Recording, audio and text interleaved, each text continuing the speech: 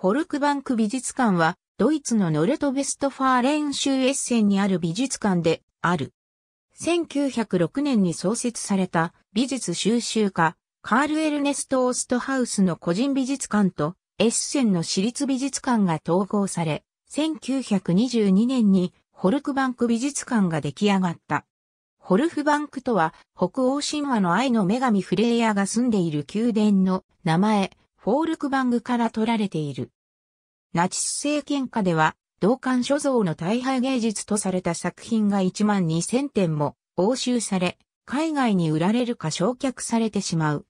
また、第二次世界大戦の際に、美術館の建物自体も爆撃を受け、一時閉館を余儀なくされる。戦後、作品の回収、購入等を経て1960年に再開。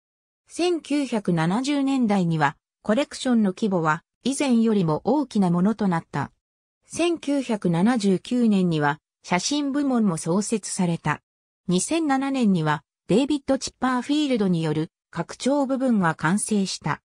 フィンセント・ファンゴッホ等のポスト印象派、エルンスト・ルート・ビヒキルヒナー、パウラ・モーダーゾーン・ベッカー等の表現主義、カスパー・ダービト・フリードリヒ等のドイツロマン主義の絵画、ジョアン・ミロ等のシュルレアリスムを所蔵している。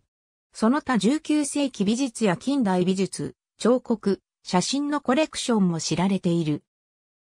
ありがとうございます。